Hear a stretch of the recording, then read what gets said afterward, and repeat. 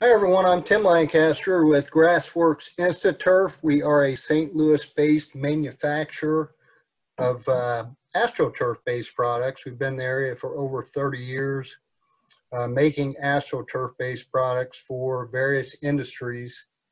And last year we introduced the InstaTurf product line.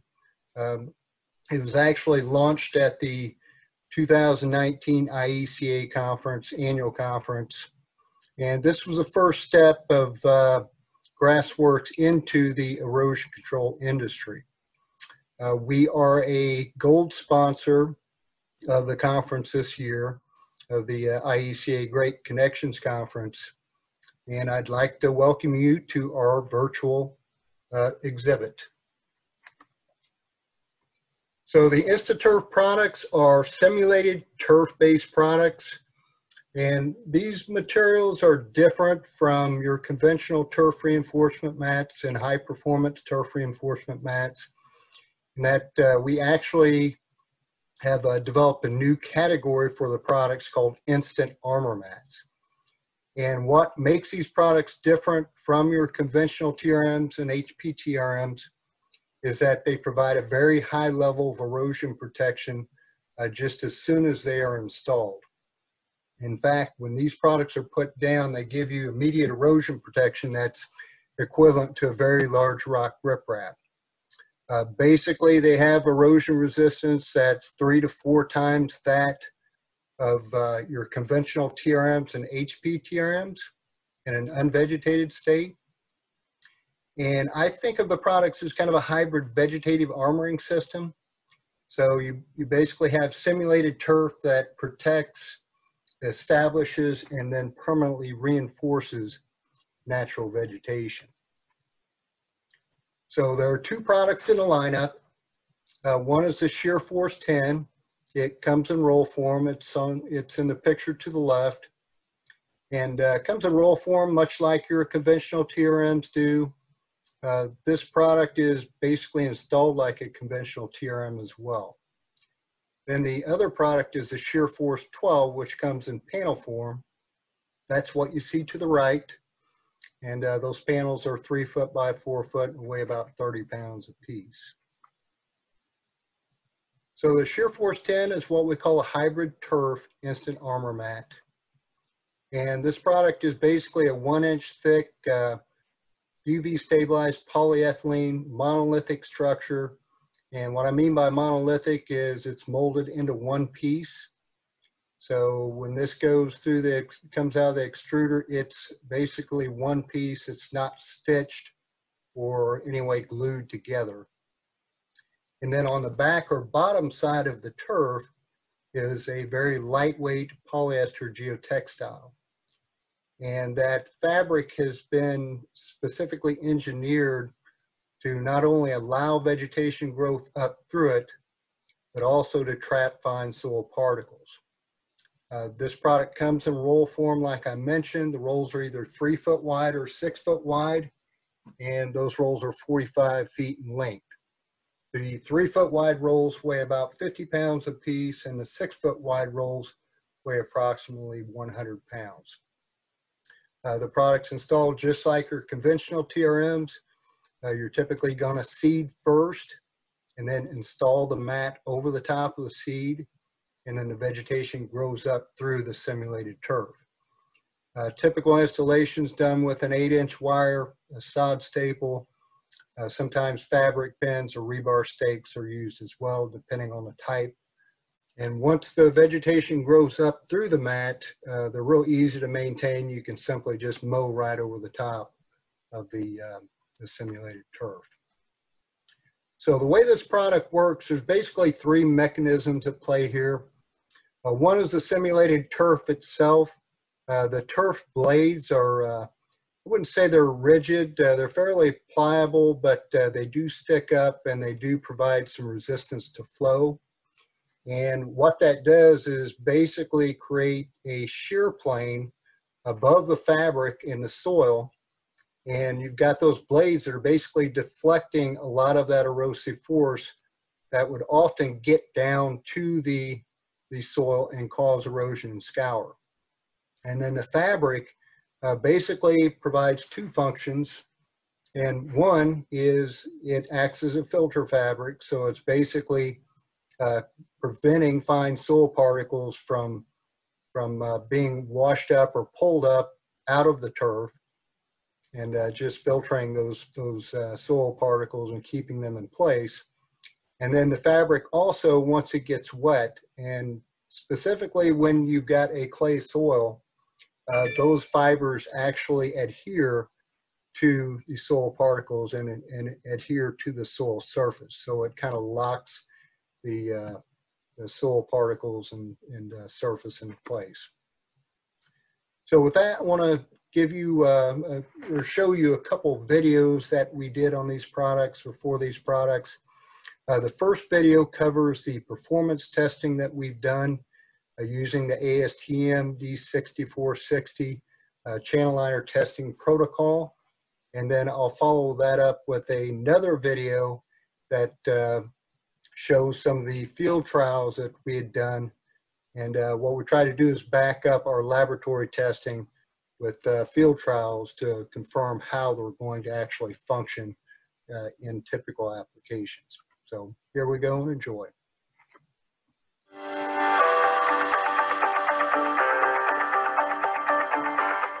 Storms are getting stronger and floods more frequent. Can your project really afford to wait on vegetation establishment for effective erosion protection? GrassWorx introduces the revolutionary InstaTurf high flow erosion control products, the first and only soft armor turf reinforcement mats, which provide the same level of erosion protection as large rock riprap and concrete blocks from day one of installation.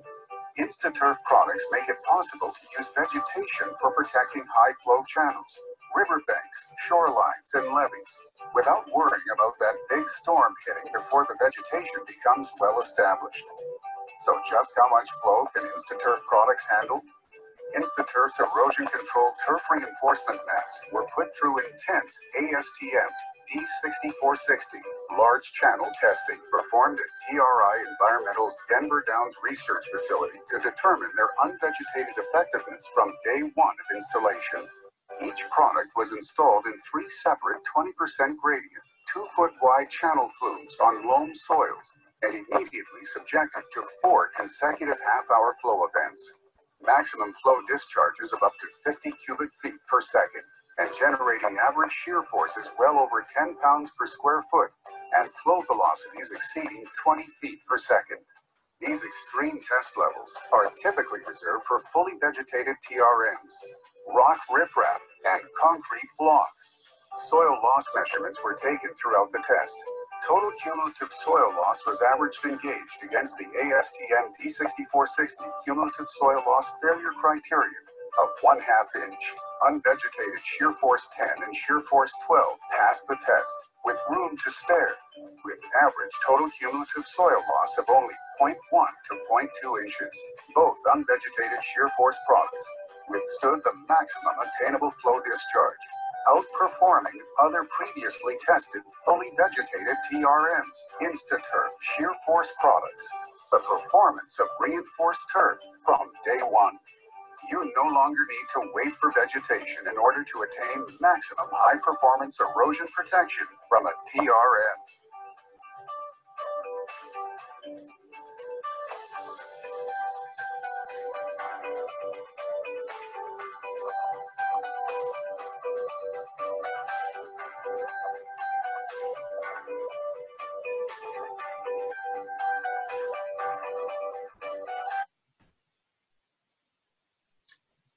So that video covered the testing that we've done on the products and this video will show a, an actual field trial of the product used in a channel lining application.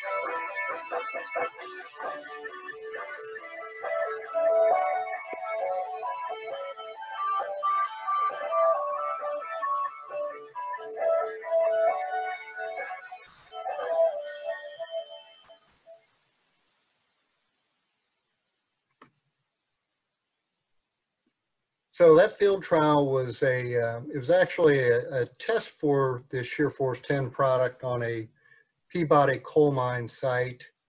And they were actually looking at using the product in place of a lot of the rock riprap that they use for uh, various channel lining applications and outfall protection. And on this uh, test site where we installed the Shear Force 10, as you can see in this picture here, they had uh, and several rock riprap check dams along the length of this channel. And this installation was done uh, in the fall of 2019. And uh, the picture you see here was taken May of 2020. But over the winter months, a lot of the rock riprap check dams had completely blown out. And the green section you see there, that is the shear force 10 section that uh, vegetated very nicely over the fall and and uh, through the winter months and in this spring. But uh, you can see the rock riprap check dam just downstream from that had, had really taken a beating over the winter and a lot of the rocks had actually washed out of the check dam. And then you can also see the, the big scour hole right at the end of our test section. And that was a control section there where just uh, loose straw and seed was applied uh, without any of the shear force 10 product. So when you're comparing these products uh, versus rock riprap and the performance of rock riprap and channel lining applications specifically, uh, this chart gives you permissible shear stress ratings of various materials in pounds per square foot. If you look to the left there, you'll see your conventional turf reinforcement mats, unvegetated, typically have permissible shear stress ratings uh, ranging anywhere from two pounds per square foot up to four pounds per square foot.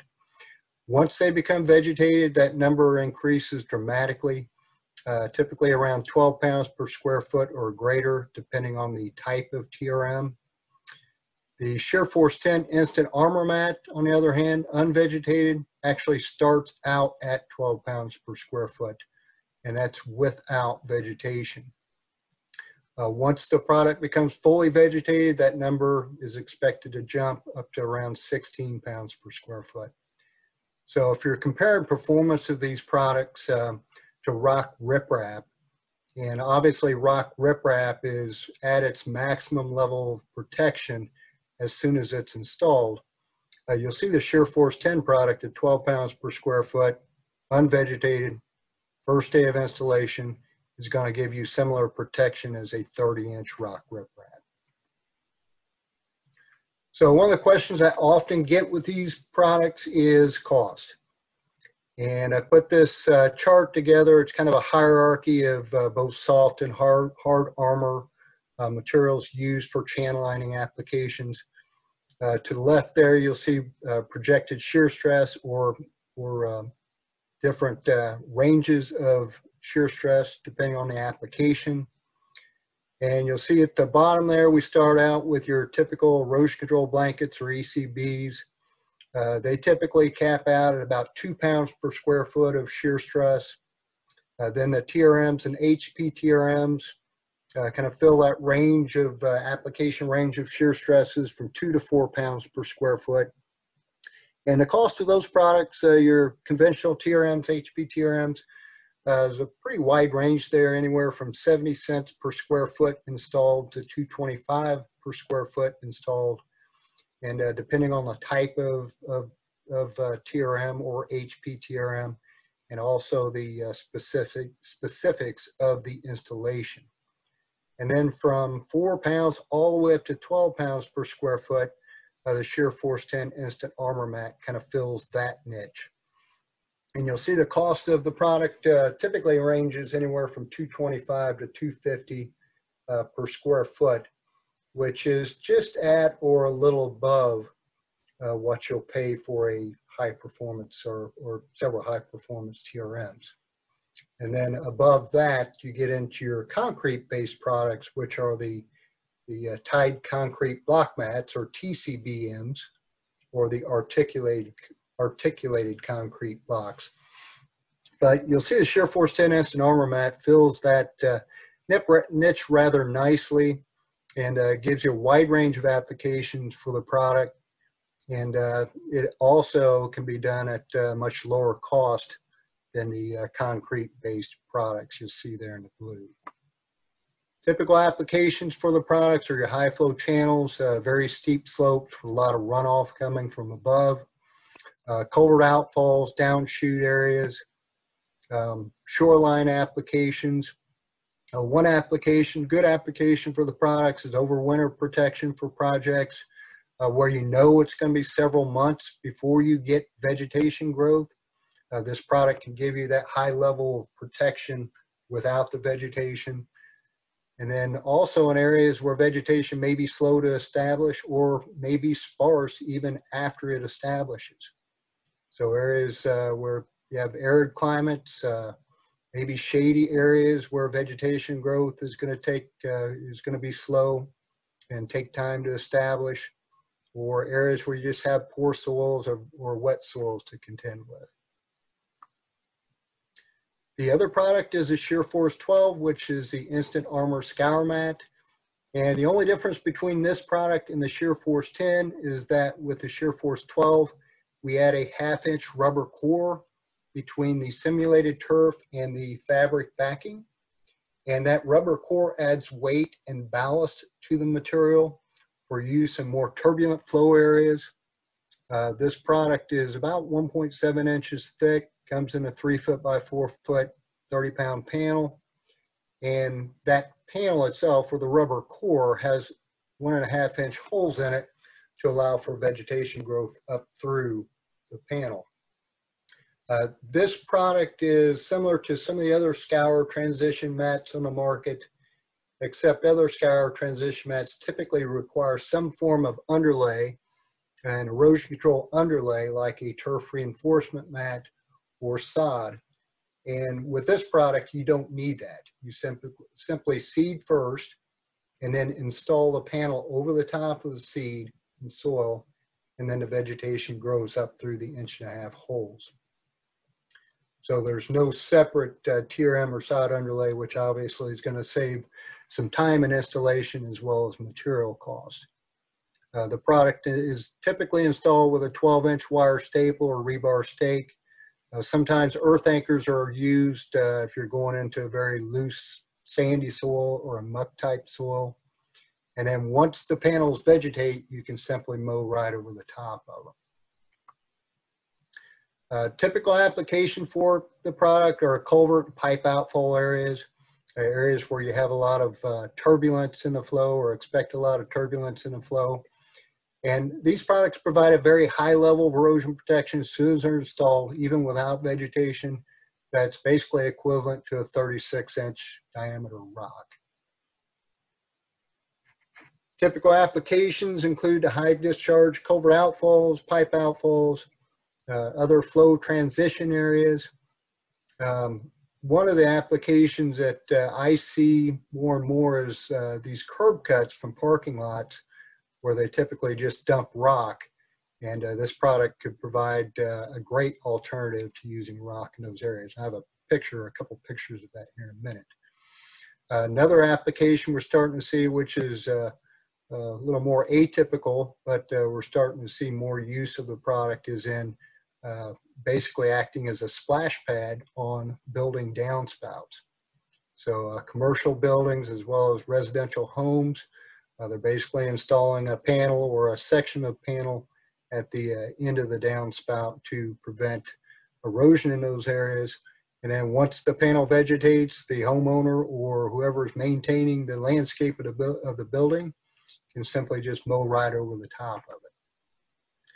Culvert pipe outfalls are probably the most popular or common application for the product today.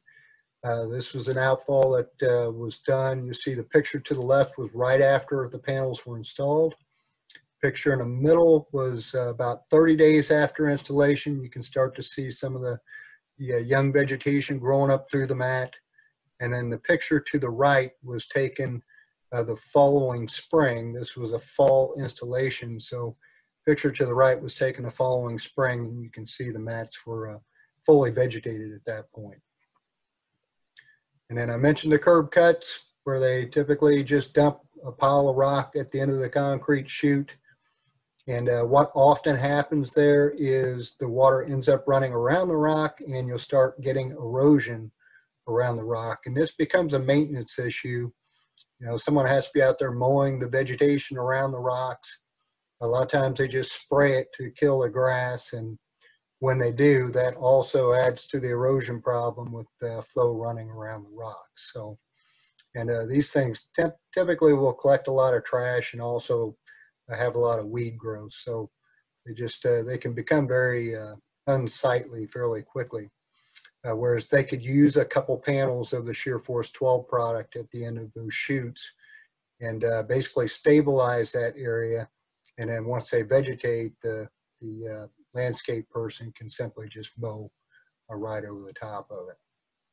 So if you'd like uh, some more detailed information on these products, as well as uh, a history of turf reinforcement mat technology and the development of the hybrid turf instant armor mats. Uh, I do have an educational session that uh, is uh, online this week, and uh, please check that out. And then if you would like further information about the products, have any questions, uh, would like to schedule a lunch and learn with me or my distributor, please contact me directly at the contact information that is on your screen. And you can also visit us at www.insta-turf.com. And uh, we are actually in the process of revamping our website, which uh, should be online in early August. But until then, all of our detailed uh, information on the products, uh, design information, specifications, uh, installation guides is all out there. So I'd like to thank you for your time today. And if you have any questions, uh, please contact me.